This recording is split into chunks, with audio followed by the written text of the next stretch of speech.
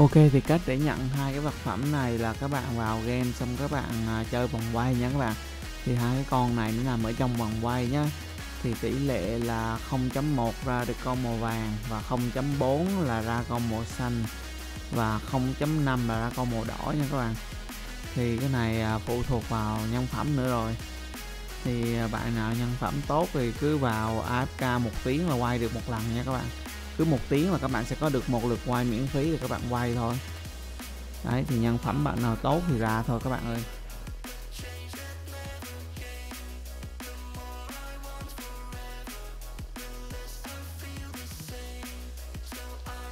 Để lại cho mình một like một à, lượt đăng ký. Nhớ bật thông báo chuông để nhận được những video lấy đồ mới nhất từ mình nhé. Bye bye các bạn và mình là em chiêu. Hẹn gặp lại các bạn trong những video lấy đồ tiếp theo.